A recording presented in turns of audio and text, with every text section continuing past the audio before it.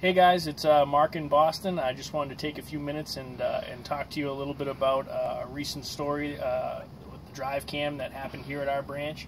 Um, we had some mirror-to-mirror contact uh, between our vehicle and another vehicle, and um, you know, if it had come down to our word versus uh, the other company's word, um, we wouldn't have had any leg to stand on, so to say. Um, as there was no witnesses, but um, this little DriveCam right here is uh, what exonerated our driver. Uh, after the mirror-to-mirror strike, he uh, waited till it was safe to do so and reached up and pressed the blue button.